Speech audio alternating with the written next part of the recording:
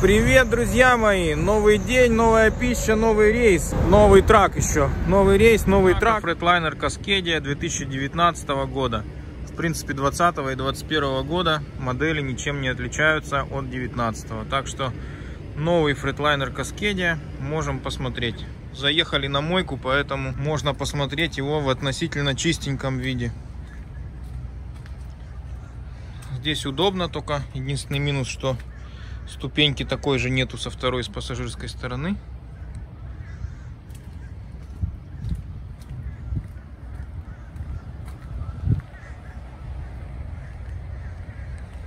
Вот так трак выглядит внешне.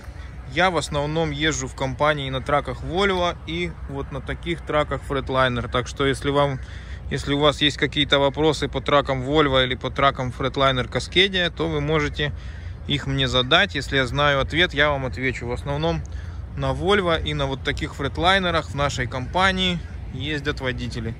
То есть я на этих двух марках уже отъездил полтора года. Ну, пойдемте с вами на обед и посмотрим, что там у нас внутри есть. Ну, вокруг все выглядит очень так культурно, чисто. Это 80-я трасса. Еда у меня с собой, так что буду есть свое, то, что взял из дома Гречу с сосисами, это классика уже. Гречу с сосисами буду есть, салатик. И эклер еще у меня есть с собой на сладкое, к чаю. Очень чисто и красиво, да? Классно. Вон Starbucks какой красивый, все под дерево, там значочек культурный. Вот посидеть можно и на диванчике, где угодно. Супер. Прекрасно, друзья мои. Будем делать перерыв, отдыхать, расслабляться, наслаждаться. Какие тут туалеты, друзья мои. Просто красота. Какой туалет?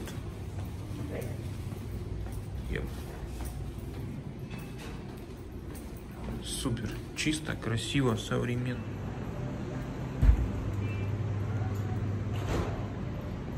И вот так замечательно выглядит мой сегодняшний обед. Там эклерчик, салат, гречка с сосисками и чай.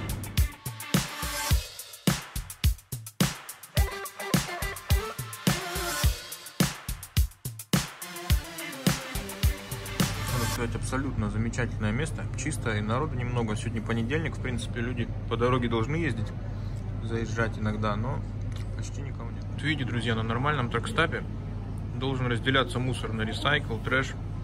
То есть в культурных местах должно быть так, а то в основном на всех тракстапах все кидают в одно. Короче, загаживаем мы Америку и нашу окружающую среду нещадно. Поэтому должно быть вот так.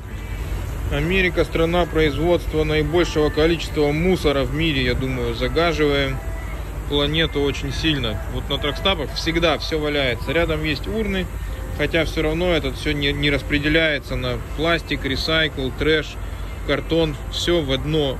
Все на, на всех тракстапах все кидается в одно место, все равно еще и все швыряют мимо. То есть все стоянки траковые, все тракстапы, все всегда загажено.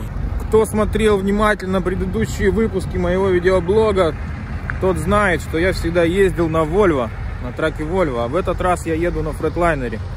Поэтому попробую сделать для вас обзор этого фретлайнера. И раньше я относился к фретлайнерам не очень хорошо, потому что я просто-напросто привык к Volvo. Но сейчас я еду на фретлайнере Cascadia. В принципе, что то Volvo ей еще года нету, что фретлайнер этот. Они примерно одинакового состояния. Пробег 220 тысяч миль еще года нету, почти год, 19 -го года выпуска. И хочу вам сказать, что прекрасная машина. Чуть-чуть надо привыкнуть после Volvo, но машина прекрасная. Посмотрите сами. Состояние идеальное.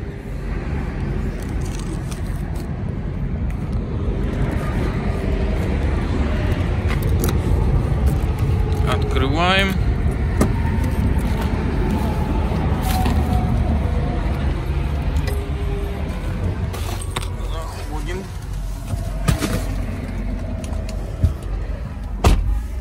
Так, обзор. Приборная панель. Ключ вставляется вот там снизу. Вот там, видите, гнездо логбука стоит. Рядом ключик вставляем. Вставляем ключ, поворачиваем. Автоматическая коробка передач 12-ступенчатая, двигатель 505 лошадиных сил. Все, запускается легко. Все хорошо и удобно. Единственный, не единственный, несколько минусов, к которым не привык после Volvo, это то, что зеркала меньше, то, что здесь нету козыречка от солнца отдельного, то есть нужно вот этот козырек можно поворачивать, как на легковой машине сюда, на Volvo. Здесь козырек один, здесь козырек другой.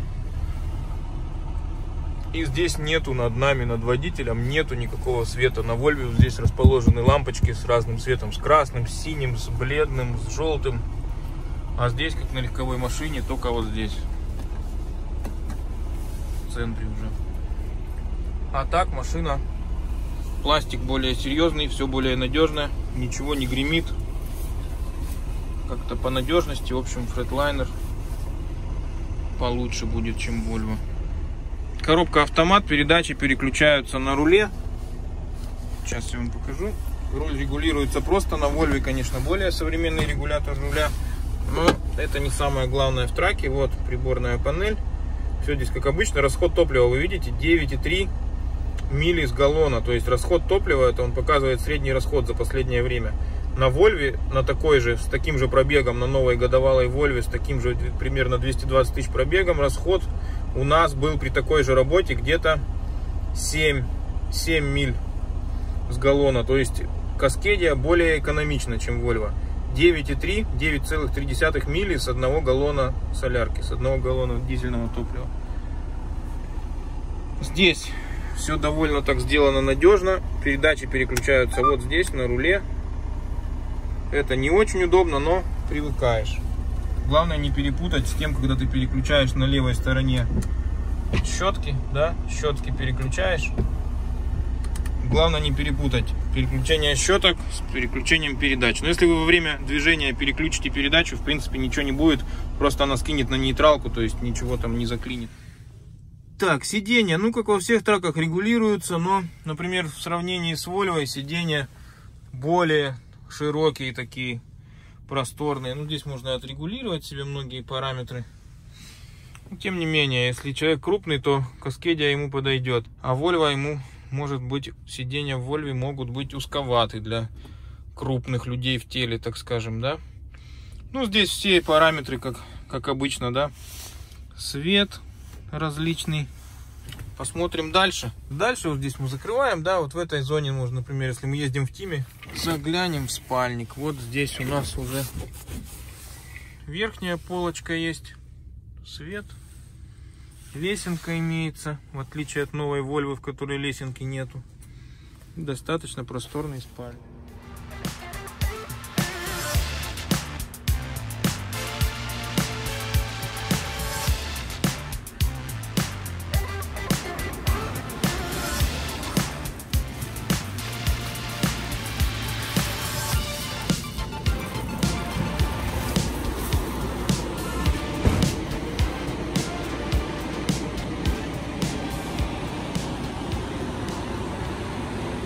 Так, у нас рубрика «Отдых дальнобойщиков». Сейчас мы пойдем ужинать. Мы находимся в русскоязычном районе Филадельфии. Пойдем ужинать в ресторан «Самарканд».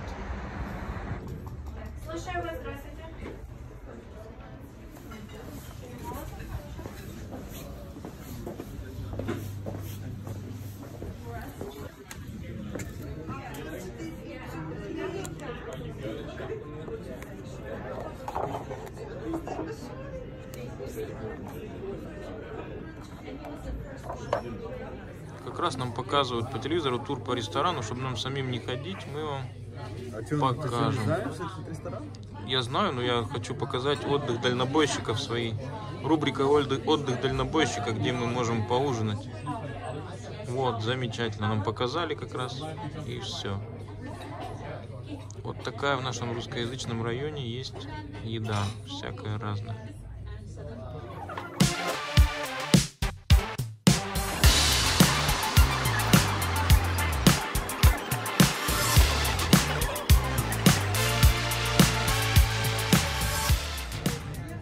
Кто-то хочет сидеть в кабинках, кто-то может сидеть в центре, вот такое отделение, кто-то может сидеть просто. И банкетный зал еще. Ресторан Самарканд, Лагман. Чай с лимончиком, греческий салат, ачук-чук, самса тандыр.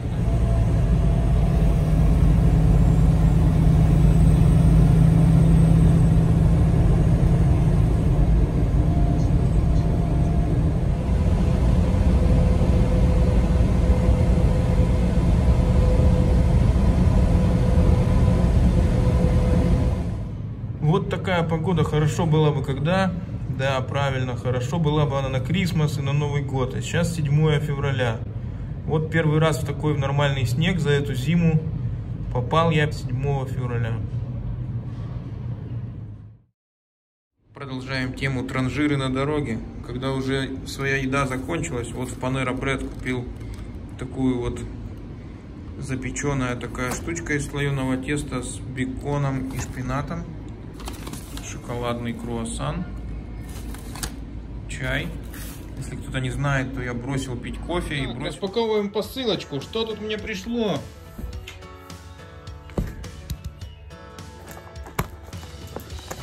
Лежим.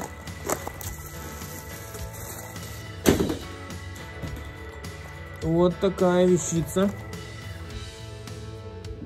Что же это такое? Это микрофончик. Вот такой замечательный микрофончик. Прекрасный дизайн для айфона, просто идеально. Еще куплю мохнатку такую, чтобы шумоподавление на ветру было хорошим. Вот такая коробочка стильная. Микрофон Шур. Мы берем любой iPhone, любой iPhone берем, втыкаем в порт айфона,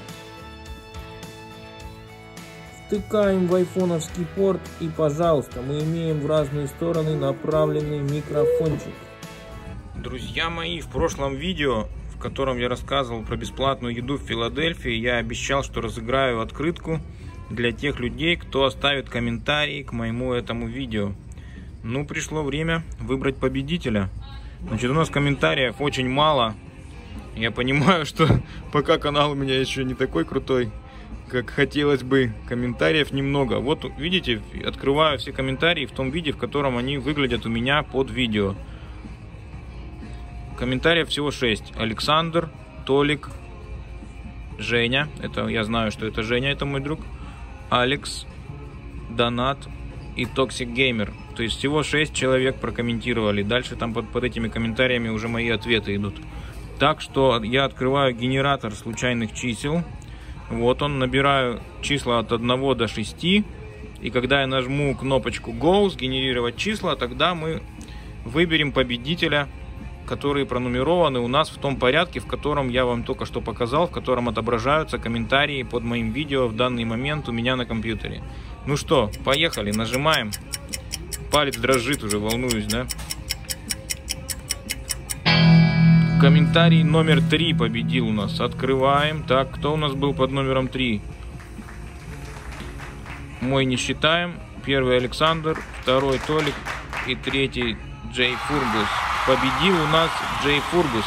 Это, кстати, мой друг Женя. Ну, вы видели, что я не отправляю открытки своим людям. Я нажал на генератор случайных чисел, и он выбрал число 3. Так что открытку я отправлю Евгению в город Омск. Жень, напиши мне на электронную почту свой адрес, и я тебе отправлю открыточку с удовольствием. В Омске я не был уже 7 лет, так что я думаю, открытку от меня будет тебе получить приятно. Женя – это мой одногруппник из ветеринарного Омского института. Так же, как я, мы работали вместе бок о бок в ветеринарной Омской государственной службе. Так что поздравляем нашего победителя. Ну и что, я думаю, продолжим наш конкурс. То есть условия остаются те же самые, только давайте в этот раз мы выберем лучший комментарий. То есть сделаем подарок не за случайный комментарий, а за комментарий, который, который больше всего понравится моей жене. Вот так сделаем. Комментарий, который выберет моя жена под этим видео, которое вы сейчас смотрите. Точно так же человек получит от меня открыточку за лучший комментарий, который выберет моя жена. Так что, друзья, пишите комментарии, оставайтесь со мной. Если вам нравится, ставьте лайк, подписывайтесь на мой канал. Вот здесь, видите, нажмите палец вверх, Обязательно подпишитесь и поделитесь моими видео с друзьями, если они вам нравятся и если они могут быть интересны кому-то из ваших друзей и знакомых. Все, друзья, спасибо, увидимся, а я поехал дальше.